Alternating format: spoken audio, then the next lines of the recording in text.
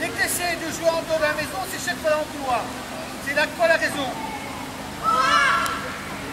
c'est trop tard sur l'impact, chaque fois sur le côté. Donc en fait la raquette part extérieur-extérieur. Les deux côtés. Il faut qu'elle soit beaucoup plus à l'intérieur. Extérieur-intérieur. 十八